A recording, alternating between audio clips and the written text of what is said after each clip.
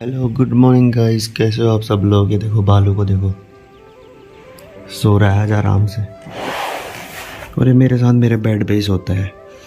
लोग भले इसको कैसे भी देख के आजकल इसके बाल काटे हैं तो लोग इसको अच्छा नहीं मानते। इसको मतलब अजीब सा लगता है ना तो लोग सोचते हैं कि तो बेकार है, इसको खुजली है। बट मेरे कोई फ़र्क नहीं पड़ता। देखो, मैं हाथ लगाऊँ, कुछ भी करूँ, ठीक है? तो देखो, ये मेरे साथ बेड में ही सोता है। मेरे को तो कोई बीमारी नहीं होती इससे, ठीक है? और भाई जब ऐसा होता है ना, कुछ लोग ऐसा होता है, जब डॉग मरने वाला होता है या बीमार होता है तो लोग डॉग्स को छोड़ देते हैं, ठीक है?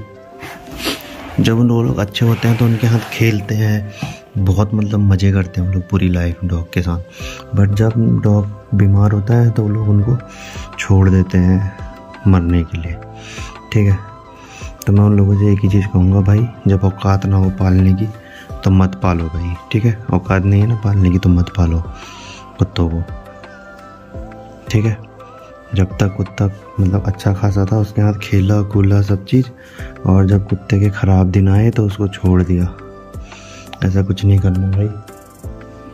मेरे को देखो इसको डेढ़ महीने से बीमार है बट मैं बिल्कुल अभी भी इसको मतलब प्यार ही करता हूँ मतलब। जैसे पहले करता था, देखो इसको, देखो कितने हरे दाने ये देखो फुंसियाँ ये सारी चीज़ें हो रखी हैं बट मेरे को कोई फ़र्क नहीं पड़ता। मेरा राजा बाबू है, मेरा बच्चा है, मेरा बच्चा। देखो मेरे बिस्तर में ही सोता है देखो। मेरे बेड में ही सोता है